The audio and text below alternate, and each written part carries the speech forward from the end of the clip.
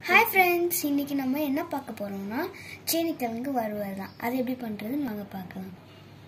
First உப்பு புளி கொஞ்சம் மஞ்சத்தூள் போட்டு வேக வச்சு எடுத்துக்கோங்க. ம். இஞ்சி பூண்டு பேஸ்ட் கொஞ்சம் பச்சை மிளகாய் அரைச்ச பேஸ்ட்டு மிளகாத்தூள் கரம் மசாலா கொஞ்சம் சிக்கன் பொடி கொஞ்சோன்னு. அதுக்கு தேவையான உப்பு. ம்.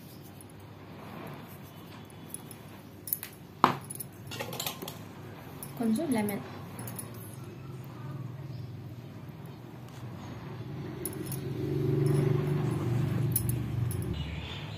கொஞ்சம் மிக்ஸ் பண்ணிக்கோங்க அப்படியே. கொஞ்சம் இதில் ஆயில் சேர்த்துக்கோங்க. ம்.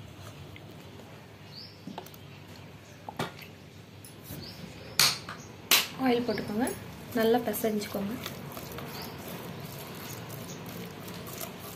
இப்போ உப்பு டேஸ்ட் பண்ணி பார்த்துட்டு கிழங்கு போட்டுக்கோங்க.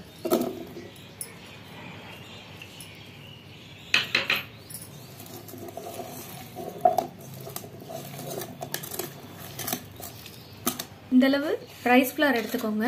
ம். ம் போதும். நல்லா மிக்ஸ் பண்ணிக்கோங்க.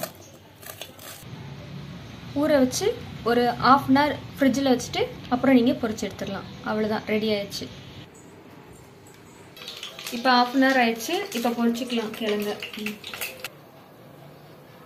எண்ணெயை காய வச்சு நல்லா சூடாகவும் போட்டு பொறிச்சு எடுத்துருங்க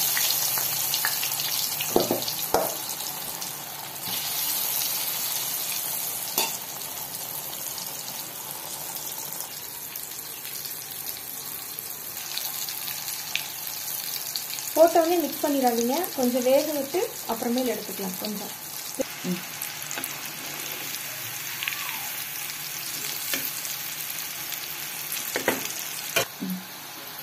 இப்போ வெந்துச்சு எடுத்துடலாம். கிறிஸ்பான